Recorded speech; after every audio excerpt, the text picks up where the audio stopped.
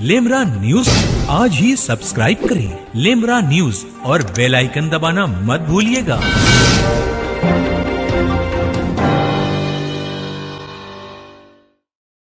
इस वक्त हम दिल्ली की गाजीपुर बॉर्डर पर हैं और हमारे साथ वो शख्सियत है जिसके बैनर तले लगभग 250 संगठन किसान, किसानों के जो संगठन है वो काम कर रहे हैं और जिनकी एक कॉल पर ये पूरा आयोजन और ये यहाँ पर आंदोलन चल रहा है। इस आंदोलन के मुखिया हमारे साथ मौजूद हैं। सर लिमरा न्यूज़ में आपका स्वागत है। शुक्रिया बहुत बहुत शुक्रिया आपका।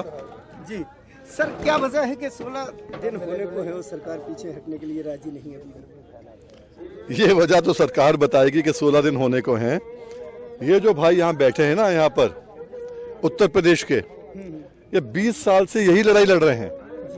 20 साल पहले 20 अक्टूबर को इन्होंने चक्का जैम भी किया था, रेल भी रोकी थी, यही एमएसपी के लिए। बहुत बच्चे थे उस समय बहुत छोटे छोटे थे जो आज खड़े हो गए। इनके बाबा ने किया था, पिता ने किया था, यही एमएसपी के लिए, यही धान के लिए। और जब नहीं हुआ, वही आंदोलन था जिसमें एक मुख्यमंत्री को छोड़ना पड़ा था, रामप्रकाश गुप्ता को राजनाथ सिंह आए थे उस आंदोलन के बाद। और उसी आंदोलन के बाद जब नहीं हुआ, तब भी काम, तब हम हाई कोर्ट गए, सुप्रीम कोर्ट गए, कांटे लगवाए। आज हमारा कहना बड़ा सीधा है कि हमें गारंटी चाहिए। कांटे भी लग गए तो वहाँ दलाल आ गए।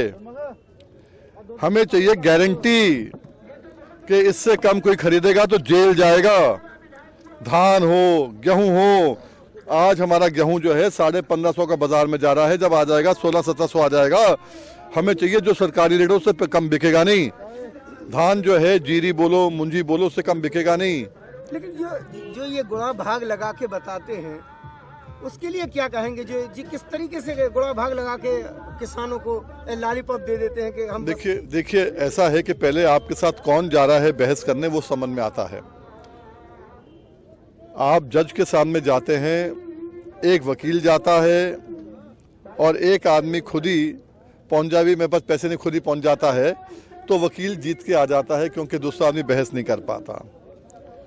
मेन चीज़ तो ये है कि आज जो ये कहते हैं कि हमने एमएसपी में ज़्यादा खरीद करी, उनसे पूछो कहाँ की करी? 300 लाख, साढ़े तीन लाख मेट्रिक टन तो उत्तर प्रदेश का होता है। उसमें से कितनी खरीद करी? आपने टोटल 300 लाख मेट्रिक टन खरीद करी, आपने करी है हरियाणा की, आपने करी पंजाब की, आपने देश की कितनी करी? पंजाब और हरियाणा को भी ज़रूरत है, उत्तर प्रदेश को भी ज़रूरत है, उत्तराखंड को भी ज़रूरत है। अब सितारगंज के लोग जो यहाँ खड़े हैं, ये जो धान लगाते हैं, उनका बेचना नहीं है क्या उनको? उनका 1100 में जा रहा है। रुद्रपुर में 1100 में जा रहा है। पूरनपुर इतनी बड़ी मंडी है 1100 में जाता है। गोला है, खीरी है, सीतापुर है, लखीमपुर है, पलिया है। 1100 1200 जा रहा है, जबकि सरकारी रेट है अठारह सौ अड़सठ। इसलिए ये जो बहस करते हैं ना, हम खरीद रहे हैं, पिछले बार से ज़्यादा खरीद की। उनसे पूछो ना कि आज शाहजहापुर में 600 मंडियाँ 600 ट्रैक्टर ट्रॉली वहाँ खड़ी हैं। उनसे पूछो, किसकी खरीदी? तो बोलना अलग बात है, आंकड़ों से मेरा पेट नहीं भरता, ना देश का पेट भरता है। अगर किसान भी आंकड़े दे दे कि हम तुम्हें इतना पैदावार दे रहे हैं, तुम खा लो और देना तो देश आधा भूखा रह जाए। किसान फ़सल देता है, अपना गेहूँ देता है, चना देता है, आपको खाने को देता है तो आप खुराक देता है तो खाते हो ना। वैसे ही हमें आंकड़े मत दो। असलियत। दो एक अहम सवाल जब से मोदी सरकार सत्ता में आई है हमेशा से उसको आंदोलनों का सामना करना पड़ा और कहीं ना कहीं उनके आंदोलनों को किसी न किसी रूप में उनको प्रायोजित करके दबाने की कोशिश की गई है। लेकिन इस बार का आंदोलन क्या सरकार को मुसीबत बनने वाला है? देखो आंदोलन कोई भी हो आदमी बाहर तब निकलता है। जब मोदी जी का नाम नहीं सुना था तभी हमने 20 साल पहले आंदोलन किया था।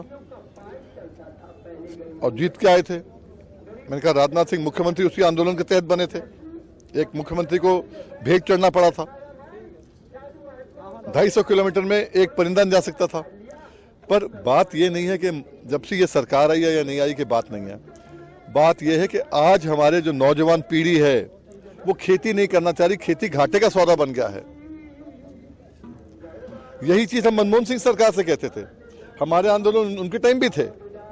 हमारे आंदोलन मायावती के समय भी थे, जब इनको 2009 के अंदर 2009 में एक सौ पैंसठ रुपए क्विंटल के हिसाब से गन्ना का रेट था।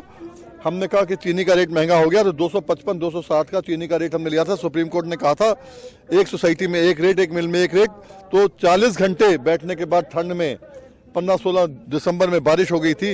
लखनऊ बैठ के आए थे, जबकि मायावती के यहाँ तीन घंटे में लाठीचार्ज करके आंदोलन खत्म हो जाता था। तो किसान तो आंदोलन करता है तब, जब उसकी सुनवाई नहीं होती। अब आज इनका इस बारी धान में, मोदी जी ने अगर नहीं ये बिल लाए होते ना तो शायद ये आंदोलन भी नहीं होता। बिल जो लेके आए उन्होंने कहा, तुम्हारी किस्मत बदल जाएगी। तुम्हारी बेड़ियाँ हमने काट दी हैं। तुम जहाँ चाहो ले जाओ। पर हकीकत यह है कि वही बात करने वाली है कि मोदी जी, आपने तो बेड़ियाँ अभी काटी है हमारी। कब काटी है? छह जून को काटी हैं। और हम तो प्याज जब से पैदा हुए, तब से खा रहे हैं नासिक का, महाराष्ट्र का। वहाँ से बेड़ियाँ लगी थी, कैसे आ रहा? हम तो सेब खा रहे हैं कश्मीर का जब से पैदा हुए हैं। उनकी बेड़ियाँ लगी थी, कैसे आ गया? मोदी जी, ये क्या बातें कर रहे हो? और आज अगर आपने कह दिया कि बेड़िया कट गई, जहाँ चाहे ले जाओ। पूरे देश में आज इनका पूछो ना, अगर इनका धान 1100 का बेच के आए हैं तो बेड़ियाँ कट गई है ले जाओ ना बंबई कलकत्ता। किसान के पास हैसियत नहीं है साधन नहीं है बाहर लेके जाने का। तो इसके पीछे रणनीति क्या रही होगी इनके जो कानून लाए हैं? बड़ी सीधी है कि जो इनके जो है उद्योगपति हैं और जो बड़े पूंजीपति हैं उनको लगा कि कोरोना में हमारी चीज़ें नहीं बिक रही। आदमी के पास पैसा नहीं है। अदानी हो अंबानी हो गोदरेज हो या जितने भी हैं आईटीसी हो वॉलमार्ट हो, बाहर के हो, अंदर के हो, सबको लगा खुराक तो सब खाते ही हैं। ऐसा क्यों ना करें कि सब चीज़ के अंदर अपना सब चीज़, यार उनसे कह दो आगे के लिए यूनियन के एकता के लगेंगे नारे, बोल देना उनको। ये ये शरारत नहीं होनी चाहिए यहाँ बिल्कुल। हम अपना जो है मंच दो रहे लोगों को तो एकता का, किसान एकता का नारा केवल। देखिए, जब इन लोगों को लगा कि ये ये जो हो रहा है काम, हमारी गाड़ियाँ नहीं बिक रही, ट्रैक्टर नहीं बिक रहे फलां नहीं बिक रहे, हार नहीं बिक रहे, जूते नहीं बिक रहे, कपड़ा लत्ता नहीं बिक रहा तो उनको लगा यार खुराक तो लोग खाते ही हैं, उसमें घुस जाओ। और जितना चाहे होर्डिंग कर लो काला बाजारी कर लो, पर कर नहीं पाओगे, तीन बड़ा सात लग जाएगा तो पहले तीन बड़ा सात को खत्म करो तो एक्ट आ गया, तीन बड़ा सात खत्म करने का। फिर उनको आ गया कि नहीं हमें सस्ता लेना है तो ट्रेडर को ले लो, कोई भी आके खरीद ले। One one nation one market मैंने कहा ना, उसमें फिर अगर आपको पैसे तीन दिन में ना मिले, तीन दिन मतलब सैटरडे संडे मिला के पाँच दिन हो गए। अगर ना मिले आपको तो कहाँ जाओगे? बोले, नहीं एसडीएम के पास जाओगे। अरे, जबकि अडानी अंबानी के सामने तो मंत्री खड़े होते एसडीएम के क्या औकात है? तो बोले, नहीं नहीं नहीं एसडीएम के पास एसडीएम की अपील डीएम के पास। अरे, हम पाँच दिन के बदले, हम जो गन्ना किसान हैं, चौदह दिन में पेमेंट देना है, नहीं मिलता है तो कहाँ कोर्ट वीएम सिंह जाता है पच्चीस साल से, कोर्ट से लेके आता है? अब तुम कोर्ट जाने का मना कर दोगे तो कैसे काम चलेगा? अब उनने मान लिया कि ठीक, गलती हो गई थी कोर्ट की। अब उनका कहना है कि भाई कॉन्ट्रैक्ट फ़ार्मिंग ले आए। अरे, छोटा किसान जो है, ढाई एकड़ का है, छियासी फ़ीसदी लोग ढाई एकड़ के हैं उनके पास कहाँ साधन है बाहर जाने का? बोले, इनके लिए तो हम कॉन्ट्रैक्ट लेके आए हैं। आपस में कॉन्ट्रैक्ट करें। अब कॉन्ट्रैक्ट के दो घाटे हैं। पहला घाटा तो यह है कि जिसके बाद ढाई ढाई एकड़ है लोग कहते हैं, भाई, अपने खेत में तो मजदूरी करोगे। मैं इस बात से सहमत नहीं हूँ, क्योंकि जो बड़ा आदमी है, एक लाख एकड़ दस आदमी के साथ बड़ी मशीनरी के साथ निपटा देता है। अमेरिका में, न्यूजीलैंड में, ऑस्ट्रेलिया में। एक लाख एकड़। और एक लाख एकड़ के ढाई एकड़ के हिसाब से कितना होता है, चालीस हज़ार लोगों की जीविका होती है। उसी में से उगाता है, अपने पशुओं को करता है, दूध करता है, अपने हिसाब से निकाल लेता है वो। चालीस हज़ार लोग बेघर हो जाएँगे। उनके पास काम नहीं रहेगा। अगर आप एक लाख दिया, और पूरे देश में अगर आ गया ये तो आठ दस करोड़ रुपए, आठ दस करोड़ लोग बिना रोज़गार के हो जाएँगे। अब देखा आपने कोरोना में? जब आदमी घर में छह महीने बैठा था आधे लोग पागल हो गए। अब बिना काम के अगर आठ दस करोड़ हो जाएँगे तो क्या होगा? पैसा भी आएगा तो आदमी क्या कर लेगा? ये बात समझ में नहीं आती देश के मुखिया को। समझा कौन रहा है? ये ये चीज़ें कौन बोल रहा है? वो तो हम बोल रहे हैं ना अभी आपको। जी। जो लोग गए कौन बोल रहे हैं ये बात? सुन लो उसके बाद में आपको बता दूँ मैं। ये कहते हैं कॉन्ट्रैक्ट से फ़ायदा हो जाएगा। जितने यहाँ पर गाजीपुर में हैं अस्सी फ़ीसदी लोग गन्ना लगाते हैं। जिनकी बात नहीं हो रही। और जो गन्ना लगाते हैं, पिछले अड़सठ साल से, मोदी जी ने कहा ना कॉन्ट्रैक्ट फ़ार्मिंग हम लेके आए हैं। अड़सठ साल से इनका अग्रीमेंट होता है चीनी मिल के साथ सोसाइटी के माध्यम से। सोसाइटी के माध्यम से होता है और फॉरम सी का अग्रीमेंट होता है, जिसको मैंने सुप्रीम कोर्ट से मोहर लगवाई है। तभी दिल्ली का रेट नहीं, लखनऊ का रेट मिलता है, वरना एक एक एकड़ अगर हम हार जाते, परसों भी केस लगा था तो इनको चार चार लाख रुपए वापस करना पड़ता है एक एकड़ का। पर इनको क्या मालूम है? कॉन्ट्रैक्ट हम लेके आ गए अरे चौदह कॉन्ट्रैक्ट लिखा है, चौदह दिन में पेमेंट करोगे। बहुत कुछ लिखा है। पर कौन दे रहा है? वो तो कोर्ट हमें जाना पड़ता है। ये कॉन्ट्रैक्ट से तो हम हार चुके ना। जो चीज़ हमें लूट रही है इतने साल से, हम उसी को लेके आ जाए? तो ये जो चीज़ें आई हैं, ये आई हैं कॉपरेट के लिए। और कॉपरेट जो है, आज आप बताओ ना, चौदह करोड़ किसान इकट्ठा कहते हैं कि हमें ये बिल नहीं चाहिए। और चौदह उद्योगपति कहते हैं हमें चाहिए। तो मोदी जी चौदह की बात मानते हैं चौदह करोड़ की नहीं। तो क्या माने उसको? यही माने ना जो जहाज़ आए थे मोदी जी के इलेक्शन में दो दो जहाज़ चलते थे वो वीएम सिंह गाजीपुर बॉर्डर ये लोग तो नहीं देते थे ना? वो तो कॉर्पोरेट के थे अंबानी के थे। अब कहीं तो लेन देन चलता है ना भाई अगर लोगे तो देना पड़ेगा। ऐसा तो नहीं है ना? अब जैसे ये लोग आए हैं दिल्ली। मेरी तबीयत खराब है, तब भी मुझे आना पड़ेगा। लेन देन चलता है तो मोदी जी का भी है ना? इलेक्शन में उनने मदद करी मोदी जी को मदद करनी है, कर रहे हैं। पर हमारे हमारे हमारे जो है, किसान जो है, डटा हुआ है। हमारा उत्तर प्रदेश का, उत्तराखंड का किसान जो है, एक मत है। देश का किसान एक मत है, महाराष्ट्र हो, कर्नाटका हो, झारखंड हो।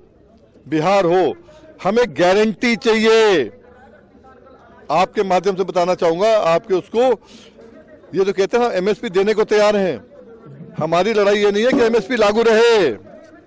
वो पंजाब, हरियाणा ने कहा कि लागू रहे, क्योंकि उनको तो मिलती है एमएसपी हमें गारंटी चाहिए कि जो एमएसपी होगी एमएसपी से कम कोई खरीदेगा तो जेल जाएगा।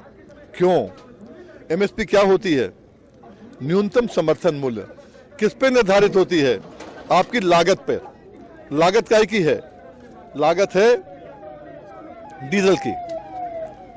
लागत डीजल की है, लागत आपकी खाद की है, लागत आपकी बिजली की है, लागत आपकी कीटनाशक की है, लागत आपकी मिनिमम लेबर की है। न्यूनतम लेबर, इससे कम दोगे नहीं लेबर। आप पचास रुपये लेबर दो तो पकड़ के आपको बंद कर देंगे। तो इन चीज़ों के ऊपर ही न्यूनतम जो रेट सरकार तय करती है, न्यूनतम रेट, खाद का भी, बिजली का भी, डीजल का भी। उसी आधार पे हम जो है, खरीदते हैं। हम सरकार के द्वारा रेट खरीदते हैं, रेट पे खरीदते हैं तो उसके आधार पे जो सरकार हमारा बनाती है, हमें वो क्यों ना मिले? जो उससे कम ले, जेल जाए, उससे ज़्यादा मिलना चाहिए ना? किसको मिल रहा है ज़्यादा? अठारह सौ अड़सठ धान का रेट है, पी आर जो है, मोटा धान, बताओ किसको मिल रहा है? अरे 1121 भी 1800 से कम जा रहा है 1509 भी कम जा रहा है बांसमती भी कम जा रहा है तो हम क्यों नहीं खड़े होंगे? तो अब माना जाए कि कुल मिला के मोदी सरकार के लिए अब ये बहुत बड़ी चुनौती सामने आ चुकी है कि जो देश का सारा किसान अब एक हो चुका है उनके खिलाफ। देखिए ऐसा है पहले हमने चार साल घूमने के बाद किसानों को खड़े होने की बात करी। ये तो हमारे जब साथी हैं भाई हैं 25-25 साल पुराने साथी हैं। इनके साथ तो ये भोग सिंह खड़े हैं। इनके साथ तो हमने जो है पत्थर ढोए थे शारदा नदी में। आप सबके हरदेव खड़े हैं, सबके आपके साथ सबके पत्थर ढोए थे मैंने शारदा नदी पे। तो ये साथी बहुत पुराने हैं, आज के नहीं है। अगर जिन लोगों को लगता है कि माहौल एकदम बन गया है, ये चार साल की मेहनत है, बंजर ज़मीन को हमने आबाद किया है, बीज बोया है, आज उसका फुटाव हो रहा है। और फुटाव ऐसा है कि फ़सल अभी आनी है और फ़सल काटेंगे। फ़सल आएगी हमारी जब हमारी सरकार बनेगी वो फ़सल होगी और फ़सल काट के सबका फ़ायदा कराया जाएगा। सरकार भी ये बनाएँगे क्योंकि नायक तो हम ही है ना। लिखा तो हमने कि 26 तारीख को क्या होगा किसका क्या होगा। कुछ लोग सोच रहे हैं कि ये आंदोलन खत्म आखिरी है। आंदोलन आखिरी नहीं है। इसके बाद सरकार बनेगी इसके बाद किसानों की सरकार बनेगी इसके बाद में। ऐसा? वो तो हमारी तबीयत खराब थी तो कुछ लोगों ने आगे ले लिया कर लिया। प्लानिंग क्या पूरा है? पच्चीस साल की प्लानिंग है भाई ये। उत्तर प्रदेश में सरकार 2022 में किसानों की बनेगी। उसमें ना कुर्मी ना ठाकुर ना ब्राह्मण ना सदार ना ना, ना ठाकुर ना, ना, ना, ना उसमें गुजर ना सैनी ना त्यागी ना जाट। केवल किसान केवल किसान किसानों की सरकार बनेगी। सुना आपने किस तरीके से बेबाकी से अपनी पूरी राय रखी है और एक बड़ी बारीकी से मोदी सरकार को उनके कानों तक ये बात पहुँचे कि किस तरीके से किसान अपना खेतों में खून पसीना एक करके आज इस मुकाम पर खड़ा होता है। लेकिन आज अफसोस की बात है कि केंद्र सरकार ने तमाम किसानों को लाइन में लगा के रख दिया। लेकिन किसान भी पीछे हटने वाले नहीं है। कुल मिला के कहा जाए कि देश का अन्नदाता अब मौजूदा सरकार के खिलाफ लामबंद हो चुका है और मोदी सरकार को ये अब तक की सबसे बड़ी चुनौती का सामना करना पड़ सकता है। इस समय उत्तर प्रदेश की बॉर्डर, दिल्ली के गाजीपुर बॉर्डर से अपने सहयोगी एहसान खान के साथ इम्तियाज़ चिश्ती, दिल्ली, लिमरा न्यूज़।